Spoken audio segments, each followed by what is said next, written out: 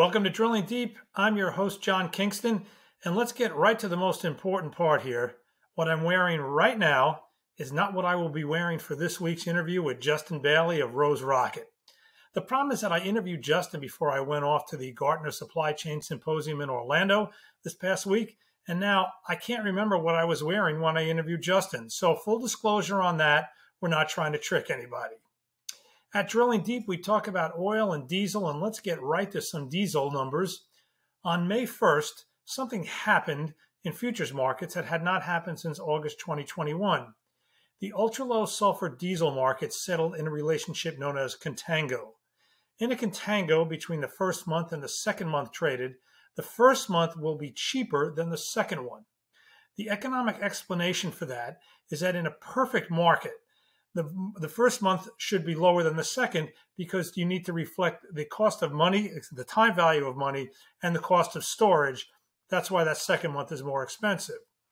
When the market is tight, as it has been for quite some while, and inventories are squeezed, the market falls into a relationship known as backwardation.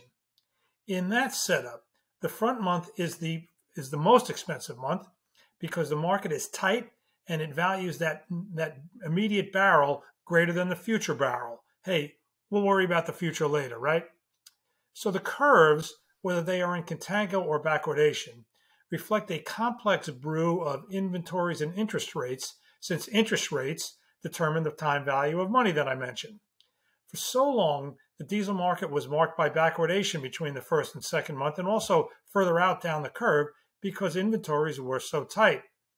But over the past several months, the backwardation has gotten narrower and narrower until finally contango reemerged on May 1st, like the groundhog coming out of his hibernation. It was a significant movement at that point. But on Wednesday of this week, we were back in backwardation. And that makes great sense because the market is starting to take note of the fact that once again, we've got tight inventories of ultra low sulfur diesel.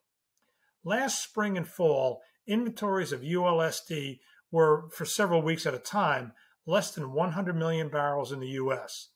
The history of ULSD inventories doesn't really go back that far because the product wasn't mandated on, uh, on the nation's highways until 2010. But before that, before those two periods last year, there was only one other time in the last 10 years or so that inventories were less than 100 million barrels. And now, already, it's back. Inventories the past two weeks have been less than 100 million barrels. Let's let's uh, note that during those other periods when it was at that number, the retail price of diesel was solidly above five dollars per gallon. The DOE EIA number released on Monday was less than four dollars per gallon for the first time since Russia invaded Ukraine. There has been upward movement in the price of diesel on the futures market, with the price adding about 13 cents per gallon in just about a week. Of course, that can be for a variety of reasons, like the price of crude going up. But that move into backwardation in some ways is more significant because it's a sign that the market is reflecting those inventory numbers that are getting back into kind of the scary territory, scary territory if you're a consumer. It's only May, but as I mentioned last week, the nation's refiners are already calling for a good harvest season and seeing strong agricultural demand. And then we have winter right after that. And can we really count on another warm winter, which refiner, which definitely kept down the price of demand for heating, which I should say the price kept down the demand for heating oil last year. Heating oil is a distillate like diesel, so the market for the two do do the, the market for the two does affect each other. Here's one piece of good news. The price of natural gas in the US is just over $2 per thousand cubic feet. A year ago at this time, it was between seven and eight dollars per thousand cubic feet. It was those it was at those kind of levels that you started hearing reports that users of natural gas were turning to diesel as an energy source when they could. It was cheaper to do so. With natural gas inventories bursting at the seams, not just in the US, but in Europe as well, that is not likely to happen this year. Part of the problem for building diesel inventories is that the gasoline markets have been so strong that refiners are shifting as much output as they can over to gasoline. That's not good news for diesel consumers, except that these things do become self correcting. if diesel drives higher because of that, that shift, because of that uh, refiner, I won't say dependence, uh, but focus on gasoline production, then diesel eventually gets more profitable to make. And then eventually, I wouldn't worry about that. The markets do tend to self correct. But the fact is, we should not be drawing diesel inventories right now, drawing them down in the US, and we are. That's what the forward curve is telling us. It may seem esoteric if you're not a trader, but it's very much real world.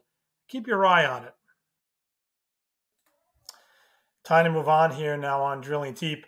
Justin Bailie is the co founder at Rose Rocket, a provider of a, of a cloud based transportation management system that ties in with all sorts of providers of telematics data. He and his company are recently touting something called collaborative transportation, and a term that, let's face it, that could mean lots and lots of things. Is it just a nice goal or is it a real system? So instead of wondering what the answer to that is, we've got Justin with us. So, Justin Bailie, welcome to Drilling Deep. Hey, John, thanks for having me. So, why don't you give a better definition of Rose Rocket and what it does than my little short uh, short introduction? Sure. Uh, so, Rose Rocket is a transportation management system, as you had, had mentioned. Uh, we focus on both the asset based carrier and the freight brokerage markets. Um, we are uh, thinking a lot about collaboration uh, in the space, and I think to to what you were speaking about, uh, you know, a core thesis for us is, um, you know, transportation is a team sport, and so when we think about that, what does what does that mean? And you know, I think if I were to just give you a uh, maybe an example of a network that we can all understand, but then maybe apply it more broadly, we would think about an LTL network. So perhaps you have an LTL carrier who is doing their own first mile um, but perhaps they outsource the line haul to somebody else. Perhaps they outsource the final mile to somebody else, or perhaps they only outsource the fi- final mile or first mile to pe- other people in certain regions. If you look at you know any large LTL carrier, uh, traditionally they're going to be working with 30 to 50 other trucking companies to facilitate that. And you know anybody who's shipped LTL or has been around the space knows that the, one of the you know the core complaints um, of of the the the end customer, the shipper, might be that the freight you know gets picked up and it goes into a black hole and pops up sometime you know in the in the future, and and that can sometimes be you know a, a disconnect between the technology in the business, but oftentimes if you're working with a separate business um, that isn't integrated into your technology, which almost categorically it's not, then there is no way to get the visibility. So Rose Rocket thinks very critically about how do we connect those partners together where the customer experience around the freight um, is seamless. And quite frankly, they never know that it left your network and went into somebody else's. Well, so let's talk about how easy it is to do that technologically. I'm going to talk about some really basic technology things. You know, there's always been a kind of a complaint. I know I'm, I'm dating myself with this name. You know, Ralph Nader years ago would complain that there's not enough operating systems in computers. Well, one of the reasons there's not enough operating systems is because technology would really have a lot of problems if we had seven or eight different operating systems. You know, you, you think about Adobe Acrobat when it was founded, and I'm still kind of amazed at this. You know, it was able to take all these different ways of doing presenting things, whether it be word processing or design, and turn them into one format of PDF. There are so many TMS systems in trucking, um, and there are so many other systems in trucking. How are you ever really going to get to the point where there's where you're really going to max out the, the efficiencies of collaboration. Yeah, it's, it's I mean it's a huge problem, and, and you make a lot of really good good points there. So I think it's it actually comes back to for us really some core principles around, and we say this to very you know to sim just to simplify the problem. How do you get somebody to do something else? And so it's it's you know we call it like you know we'll, you hear swivel, swivel chair or sort of app fatigue and these types of things. So what we think a lot about is how do we meet our customers or our customers vendors uh, or partners or customers' customers where they are. So I'll give you one example. There's actually many that we do, but one might be, um, you know, we learned, um, and, and, again, you just keep trying and trying and trying and failing and failing and failing. And you learn some things. Um, but one of the things that we did learn is that, you know, if we think about, uh, you know, a dispatcher saying, whether it be a broker or or a carrier, they live inside their email. So, is there a way to have the order arrive in the email, be acted on in the email, be be you know updated within the email, and never having to go log on and do something else? So, can we meet people where they are in their workflow? So, it's not about creating a, a, a, a net new solution in which they have to log into and do things. It's about trying to meet them inside their workflow, quite honestly, without them really even knowing that we're doing it. So that can come through things like integrations, but also where we see this having a lot of uh, uh, impact is when you are intentional about the network in which you're stitching together.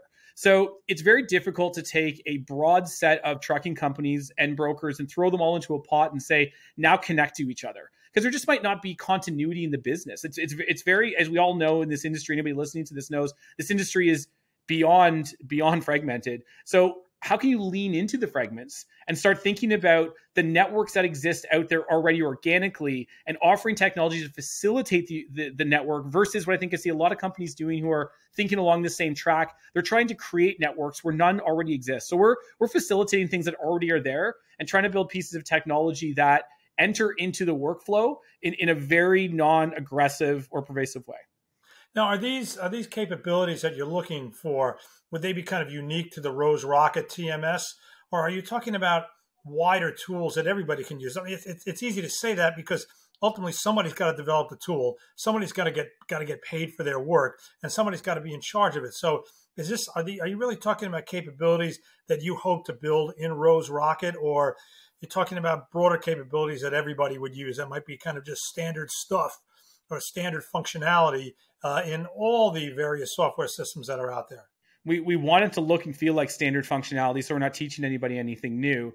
The, the underpinning technology to effectively and and gracefully commingle workflows is incredibly complex and very hard. So I'd say both is the answer. One is that again, we don't want that end user to ever feel friction or as little as that is actually possible, or at least create a net benefit that exceeds you know, look, we do things for pain. You know, we either do things to achieve pain or, avoid, or, or sorry, avoid pain or achieve pleasure. And so, if we can at least bring something that offers more pleasure, which could be less work, paid faster, whatever the the narrative is that works from a value prop for that that end user, um, that is what we're trying to ultimately get to from the from the user's experience but underpinning all of this the technology again that that allows for workflows to collaborate that allows for you to do work without really knowing that you're doing it um, to making um, you know our core customers enthusiastic about trying to get their partners to participate that is a that is a large large task and that's what we spend a lot of our time working on. So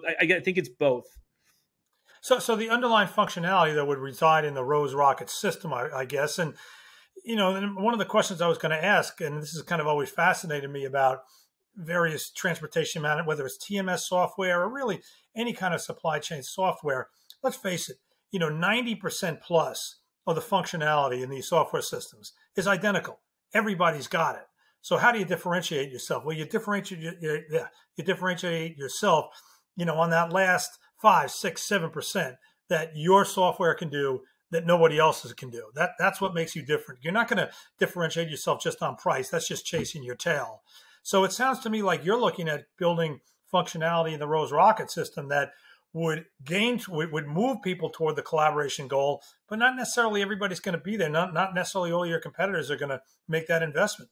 No, and I think it's it's I think to what's what's interesting about what you said there is that you're right. Like a, a, uh, a, TMS has to do certain core functionality in order for it to be called a TMS. It has to dispatch, it has to plan, it has to uh, you know pay people and collect and do these types of things. And and and you're right. It's sort of that final ten percent that might that might separate you. Um, I think for us, what's interesting is that when you when you look at any TMS, and this could be, and, you know, and we all have our own sort of point of view on the world, but as you build further towards that point of view, you actually start um, off gassing certain byproducts. So what, what, I, what do I mean when I say that? So if we are trying to create more collaboration and allow our um, our customers to have more automation. If their if their carrier partners as a broker can load the paperwork update where they are do all that that is a lot less phone calls and a lot less things to have, have to happen. So what happens is you start building that functionality you're like oh and this is going to be an obvious statement there's a lot of value in automation.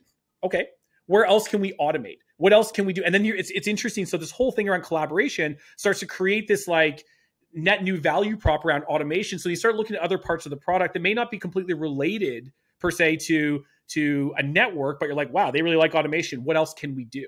So a bunch of order entry things. Can we reduce order entry time? Cut that in half, and then you, it's just it's interesting. And then as you start to, you know, I say this often, but as long as you're creating, you're never competing. And so I think as long as you're in that space of continue to try to get better, hone in and create value for the customer, you're going to end up with all these branches from the initial what you thought was the core value and all these sub branches of value that you just have to lean into. And I think that's what we've done. So when I think about Rose Rocket, I think about us also as incredibly automated. And, and I think that we're continually pushing on, you know, look, how can we create a, a dispatch organization that is largely touchless? Are we there today? No. But from a mission perspective, we're very enthusiastic about that as a goal. So there's really two aspects to this. One is the development of the actual software, uh, the coding and the writing, and the other is uh, industry acceptance. Where are you on the first? And you got to get the first done before you get the second. I mean, we had eight engineers start today, so that brings us up to about 100 uh, in in Toronto. Um, you know, we're almost we're going to be a 200 person company by the end of the year. We're probably at 160 now, so we're well on our way in terms of in terms of building the product. We've been building it since 2016, but you know, I'll tell you what. For the first four years, we you know it took us it took us four years to get 25 customers. We have almost a thousand now, and so it's it's you know it, it creates it's a we we built an ERP, and you know honestly, if you had asked me if I would do this again, I probably would have said no. But I had no idea what we were getting into when we started to build this. We've built a system of record to run complex organizations, so that just takes a lot of time. So from an engineering side, we are adding to that. We're we're, we're quite far along. Um, but we've got a long way to go. There's a lot of stuff to build still. So we're we're we're grateful for where we are, um, but we're not really close to close to being done. And, and sorry, what was the second part of your question? Well, the second second part of the question was um, if if you feel you're never done in this business, obviously, no. okay, but if you feel you've got a product that you can go out and say this really does increase collaboration. So yeah. it's not just you and me. It's you know we can we can somehow connect to so many of your other uh, inter inter company relationships. Yeah, yeah. Um, what's the acceptance out there yeah. in the field of that? Yeah, I'll give you a couple of examples. Actually, I like that question. So we've got our average. We have, um, as I mentioned, we've got a thousand customers uh, who are paying customers of Rose Rocket who use our product, you know, quote to cash or, or you know thereabouts. Um, we have five thousand um, active. When we say active, we mean are in the product at least once a week and have been for at least four weeks. Uh, carriers um, engaging with our product who are not paying customers, who are using the network functionality, the free portals, the the in-app, the in-email type to transact and communicate back with our customers. So we see this network effect already playing out there. And then more on an enterprise side, we have uh, multiple contracts that were, you know, we're, we're in various degrees of executing. Some of them are quite far along and fully in market.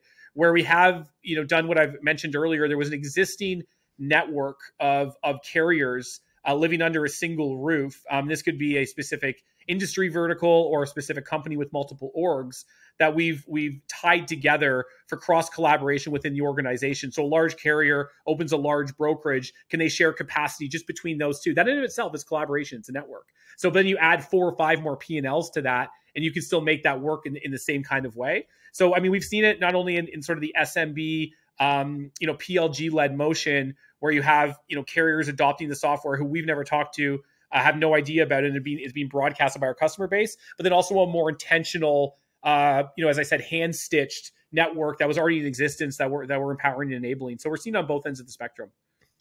Let's uh, we're, we're doing this interview in the week that uh, it's during earnings week, and one of the more interesting ones was E2 Open, which is a supply chain software, you know, a, a SaaS product, software as a service, and their earnings actually weren't all that bad. But what was bad was their uh, their conference call with analysts, in which they predicted some pretty bleak times. It just said it's a a tough business to grow right now. Their growth rates were far below uh, far below what uh, what they had been, and the, the stock absolutely took a, a, hammering as a result. Uh, are you finding the same kind of conditions out there? I'm going to give you a true or false statement. The pipeline of interest is really high. Getting deals done is really hard. I would say it's the inverse of that.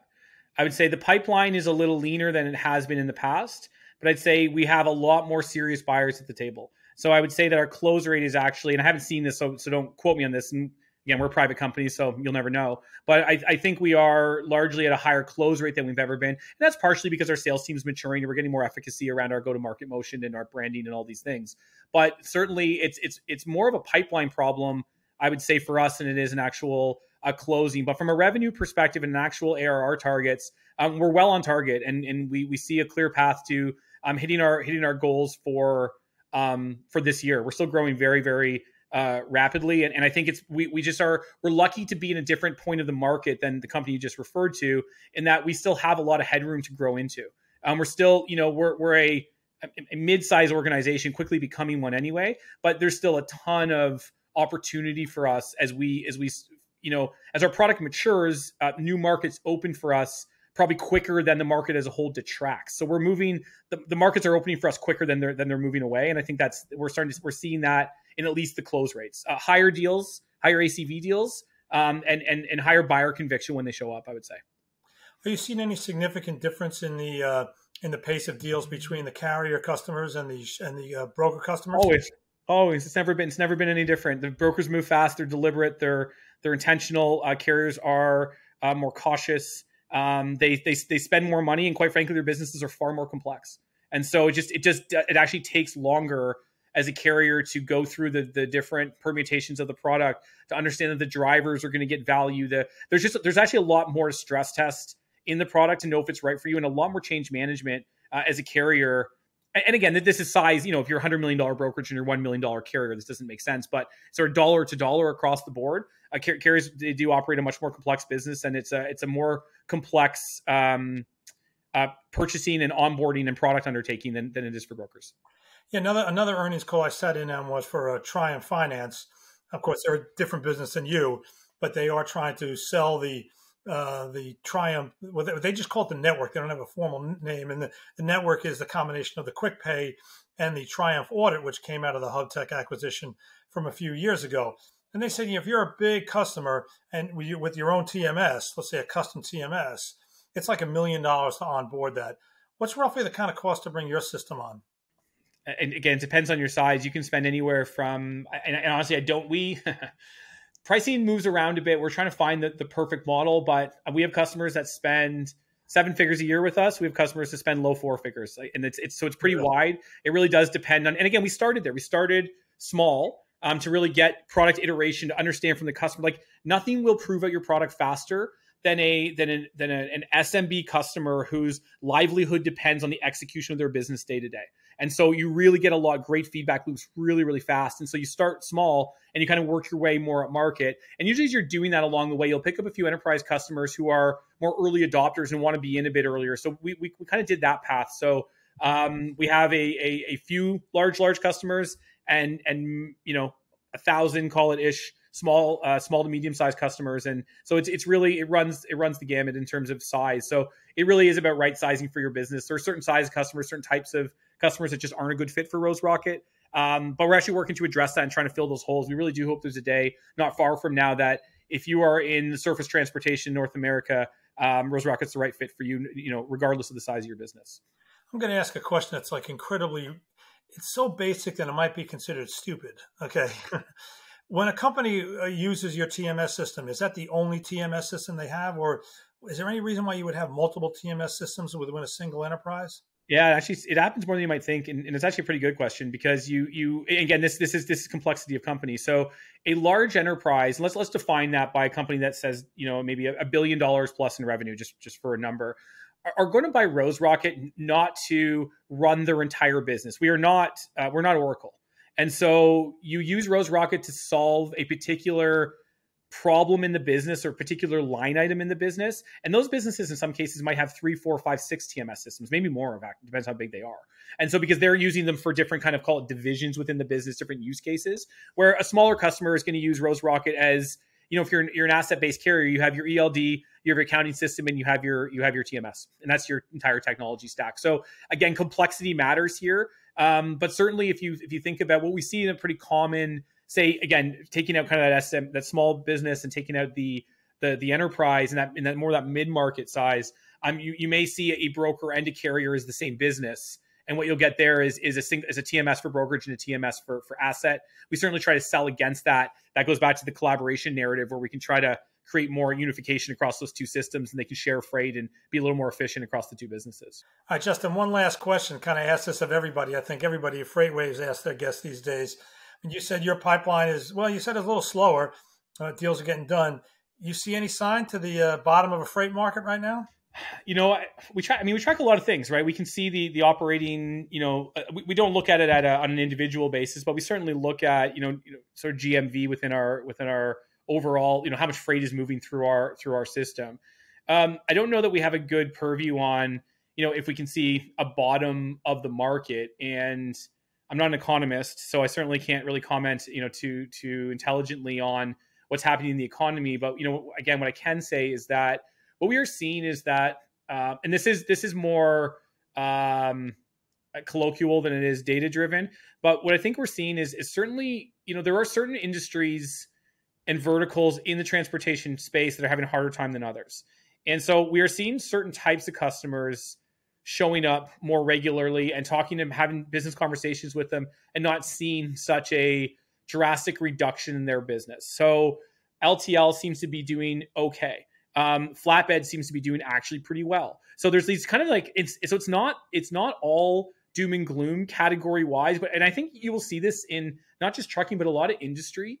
Niche businesses do very very well in times of turbulence, and they do well in, in a lot of times too. So I think the more broad you are as an organization, um, I think you just tend to have harder times in climates like this. So we're we're seeing probably more niche players show up, but you know, good thing for us, this market is just made up of you know hundreds of thousands of niche players. So it's I think I think the dynamic and the and the mix of our of, of the customer base or, or prospect base in this case are, are is is a little bit different. I'd have to spend a little more time fine tooth combing that to give you a you know a, a data driven answer. But just from a, from an instinct perspective, it just it feels like there's been a, a, bit of a shift in the type of customers that we're seeing that are actually making purchasing you know decisions and and, and committing to the you know to, to the to the pretty significant change that it is to you know to um, especially in, in, a in a in a lift and shift of a TMS going from a, an incumbent to a new TMS is, is a is a serious undertaking. So, um, but we're getting good commit there, and, and again, I'd say that it's maybe just a bit of a different mix of of of, uh, of customers. I do want to say when you just said I am not an economist, I heard that as I am not a communist.